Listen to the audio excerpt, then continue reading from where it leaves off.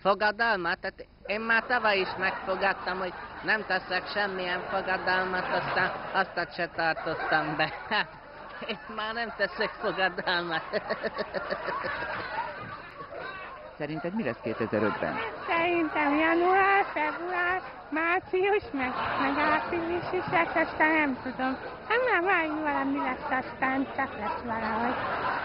Ha jó, tettél már fogadalmat a jövő évre? És te tettél? Én még nem. Akkor meg, akkor mi van? Ez a te fogadalmazza, azt a verjedni rajtam múlva. Vigyázzál, mert lenyomok két nem egyszerű töcsét. Te meg ne ugassál. Üdvözlöm, ön tett fogadalmat? Mi van a fogammal? Mit vár a jövő esztendőtől? Rettentő? Mi, mi, mi rettentő?